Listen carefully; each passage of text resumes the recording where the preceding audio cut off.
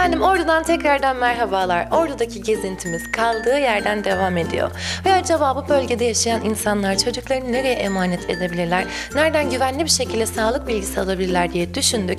Ve sektörün önde gelen firmalarından birini sizler için ziyaret ettik. Efendim çocuk doktorumuz Nihal Hanım şu anda yanımda. Çocuk sağlığına dair aklınıza ne takılıyorsa hepsini cevaplayacağız ama önce biraz sizleri tanıyalım Nihal Hanım. Merhaba, adım Nihal Sargın Yıldırım. Ee, 16 yıldır tıp camiası içindeyim. 8 yıldır da çocuk doktorluğu yapıyorum. Son 3 aydır özel muayenehanemde hizmet veriyorum. 0-18 yaş grubuna biz zaten bakıyoruz. Ama aynı zamanda sağlam çocuk ve hasta çocuklara bakıyoruz. Ve sağlam çocukların takiplerini, gerekse tetkik ve tedavilerini, hasta çocukların da aynı zamanda gerekse tetkik ve tedavilerini planlayıp yapıyoruz. Biz çocuklarımızın ruhen ve fiziksel olarak her zaman yanındayız. Çok teşekkür ederim efendim. E, Nihal Hanım'a bir kulak verin derim. Bizlerden ayrılmayın çünkü oradaki gezintimiz kaldığı yerden devam edecek.